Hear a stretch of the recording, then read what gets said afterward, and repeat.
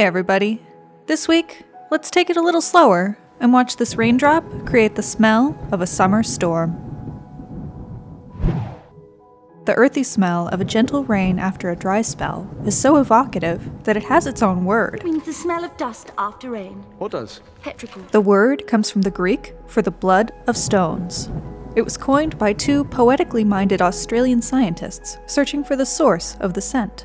Isabel Bear and Richard Thomas studied petrichor in the 1960s. It's a humble area of research, but a universal experience. And it has two main sources plants and bacteria living in the soil.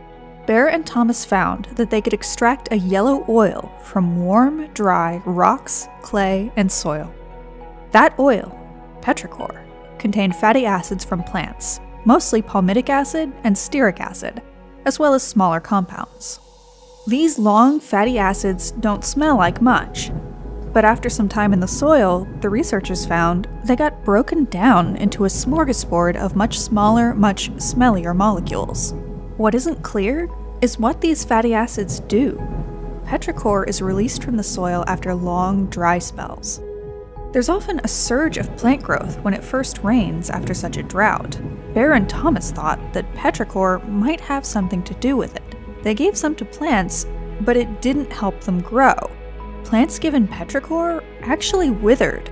It's been speculated that plants might secrete fatty acids during dry spells to slow other plants down and cut out competition for water, which is pretty ruthless for a plant.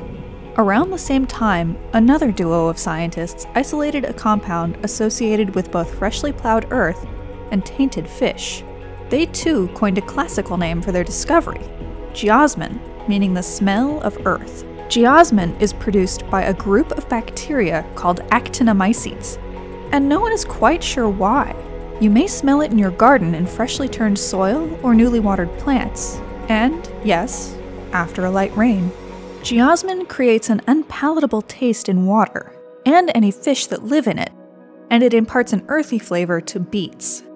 The smell is nicer, and we now know it's an important part of petrichor. Our noses can detect geosmin at concentrations less than 10 parts per trillion. That's around a teaspoonful in 200 Olympic sized swimming pools. Since the 60s, few researchers have paid much attention to petrichor. It wasn't until 2015 that MIT scientists began looking at how the smell might actually reach your nose. They recreated the effect of raindrops falling on a porous surface. Their high speed videos showed air getting trapped beneath the raindrop. Those air bubbles then burst and spew tiny jets of water. See them? They contain water from the raindrops and chemicals from the soil. They're forming an aerosol, tiny droplets suspended in the air, much smaller than the raindrops. Because the aerosol drops are so small, they can travel on the wind much more easily than raindrops and carry the smell of petrichor to our noses. This is the first time anyone showed that rain could create aerosols, effectively filling the air with much finer particles of water. But only a light rain will do it. Heavy rain doesn't create those bubbles, so a heavy downpour may not smell like much, instead of carrying the poetic aroma of petrichor. Thanks for joining us this week, and a huge thanks to Young Soo Jung and Cullen Buie from MIT for letting us use their footage. And thanks to Neil Gaiman for teaching me the word petrichor.